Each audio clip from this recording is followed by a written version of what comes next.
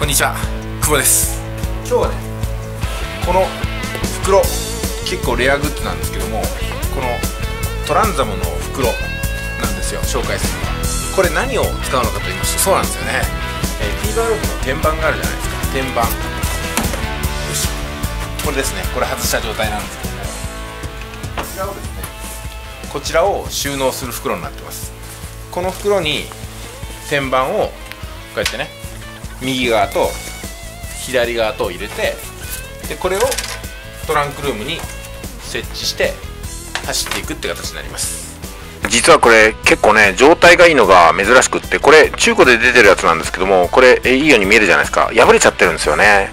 破れてないのはなかなかないんで私の持ってるのはかなり貴重品なんではないかなと思います。結構ねこの天板が重いんですよね。重くってこれ入れるのも一苦労なんです入れ方がちゃんとこう書いてあってですね。はい。でベルトがついてますからベルトで、えー、このハッチバックに固定するようになります。でちょっとねここでやると大作業なんで今日は実際はしませんけどもこんな感じですねここにこういうふうにイメージできますかね。ここにねガッとこれをこういうふうに入れていく感じです。ね。スワッと入りますね。でかいんですよこの袋結構。ということなんでこの天板外すと、まあ、後ろの方に置くんですけどもそうなるとねハッチバックルームってもう完全に埋まっちゃうんでまほとんど荷物は積めないかなと思いますね。で車内もそんなに広くないんですよやっぱり。でドリンクホルダーカップホルダー1個もついてないんで雑誌1個ティッシュペーパー1個置くところがないんですよね。まあこのね不便さを一緒に乗り切ってきたいと乗ってますね、うん、まあなかなかこのここもねダッシュがいつもワクワクさせてくれますね。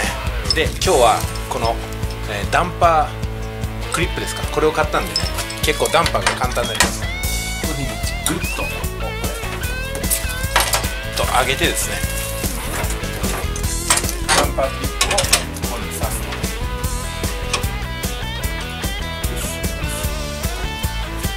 あこんにちは。どうも。お世話になります。いつもありがとうございます。えー、ナンバークリップ刺すとねこのボンネットがもうこれで固定されるわけです。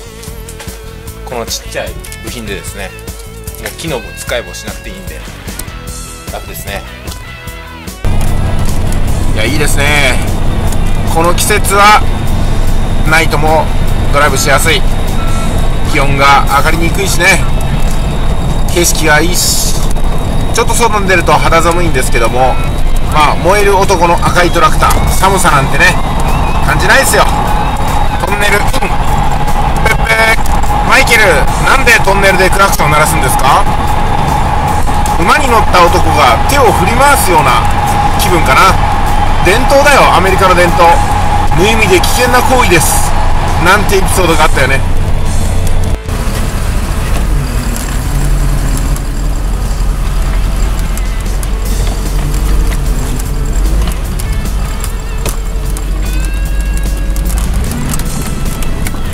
have exceeded the maximum permitted speed.